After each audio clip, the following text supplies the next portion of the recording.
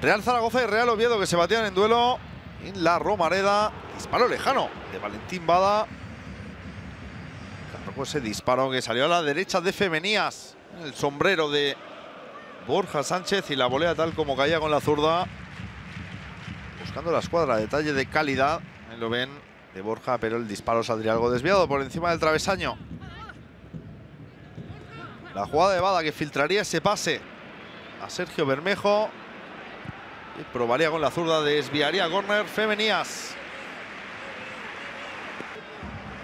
Una parte entretenida, pero sin ocasiones especialmente claras.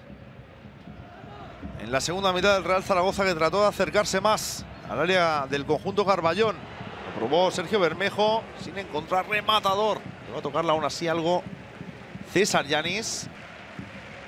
Ese disparo de Bermejo que tocó con la puntera como pudo el panameño que debutaba la Romareda. Desde la derecha. Johnny Montiel se hizo espacio, cargó con la zurda, sacó Cristian Álvarez. Bombo que volvía a la Romareda. Empate sin goles. Cuarto empate consecutivo para el Real Zaragoza. Seis partidos seguidos sumando para el Real Oviedo.